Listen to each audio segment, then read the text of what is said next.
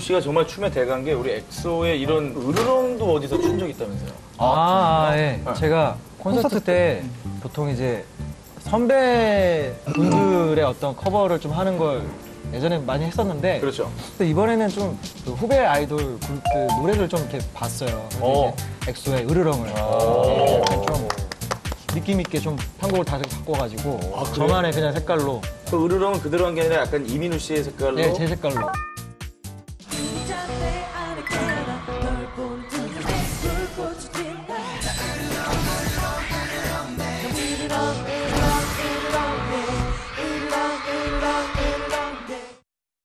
있을까요?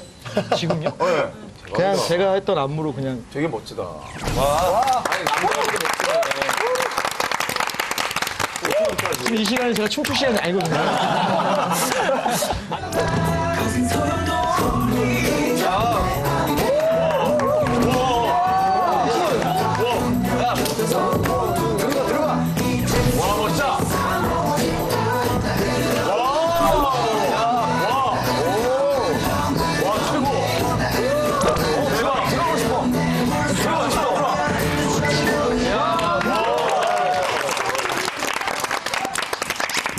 소름. 아, 내가 실수로 한 번 했네요.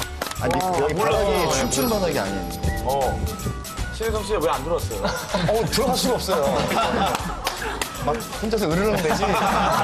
들어가기 그런 거 있더라고요. 네, 어, 들어가고 싶었어. 네. 야, 멋있네. 정말 잘 추세요. 어때요, 루키즈, 어, 우리 이민우 씨? 정말 진짜 너무 멋있는 것 같아요. 아, 정말로? 제가 지금 생각했는데 언젠가 뭐 공연이나 이럴 때 콜라보레이션 무대를 한번 아, 저 오, 영광 오, 되게 같아요. 나중에 신화하고 엑소하고 뭔가 딱 어, 뭐, 오, 괜찮은 것 같아요.